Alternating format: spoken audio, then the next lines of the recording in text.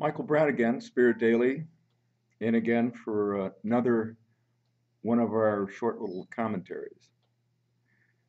Um, I said little, let's keep it short.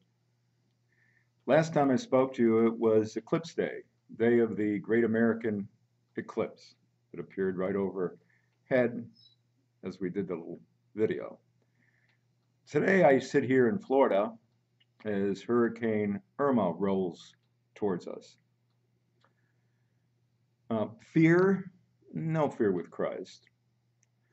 Um, will there be power outages? For sure. Destruction? Yes. I note the, the indications with such things and, and the signs. For example, Hurricane Harvey, less than a week after the eclipse, most expensive nat natural disaster in U.S. history,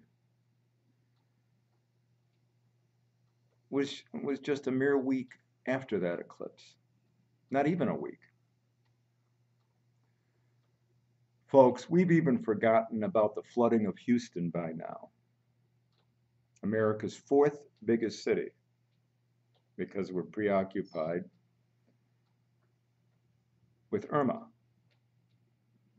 The eclipse was on August 21st. Harvey popped up into prominence on the 25th of the month and then started its flooding, massive flooding, the following day, which was the 26th. Those who like to play with numbers and synchronicity can point to Luke chapter 21, verses 25 and 26 about signs in the sky and signs in nature. This is quote. This is a quote from uh, Rabbi Winston, who studies prophecy from a Jewish standpoint. Quote: This is the end of an era for America. The righteous Christians still have salvation in America. They're getting a wake up call that they're about to go through a very difficult time. It is a call for shuva, is the term. End quote. A time of trial, cleansing. Well, take it for what it's worth, but discernment of current events is urgent. Look, uh, as I say in a recent special report on Spirit Daily, we're now into it. The words of those, those are the words of those who have had prophecies, and, and is certainly believable. Especially, it's believable when we consider that in ancient times, an eclipse was seen as a harbinger of war, and the name Harvey means war ready. And the old German for Irma means war goddess. This all comes, of course, at a time when North Korea is testing a hydrogen bomb, a thermonuclear bomb, and launching a test missile right over Japan. Meanwhile, in Japan, on Mary's birthday, September 8th, yesterday as I speak, Friday, September 8th, a quake shook the prefecture of Akita in Japan, where in 1973 Mary warned a nun that there were great approaching chastisements, including the distinct possibility of millions dying with great fire falling from the sky if there was not conversion. That was Japan. Well, you know, the same day, September 8th, now 2017,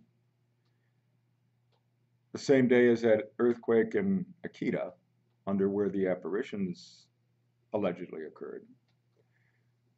The same day, a hurricane and the most powerful quake in a century both hit Mexico, home to Our Lady of Guadalupe,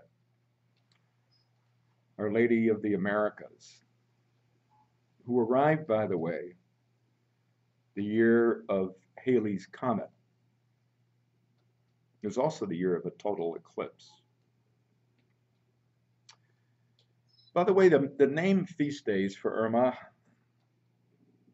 are September 18th, which is the anniversary of Our Lady appearing in the 19th century at La Salette in the French Alps, warning that the earth was going to give convulsions with, quote, water and fire. And also the name day for October 13th, ironically, the anniversary of the great Fatima miracle and the final formal apparition there. uh, all those fires in the West, coincidence. I love coincidences. They are so interesting. The question now, as I sit here in Florida, as I stepped over some sandbags that are there in case we get some of the rain they project for my area, 10 to 15 inches, near St. Augustine, where we moved some years back for spiritual reasons. As I sit here with a calm day and even the sun out behind me,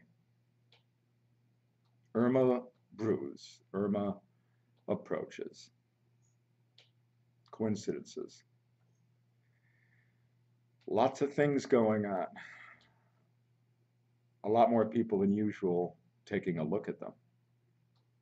Coincidences are so interesting. My question today is Are they also prophetic? This is Michael Brown. We'll have another report shortly.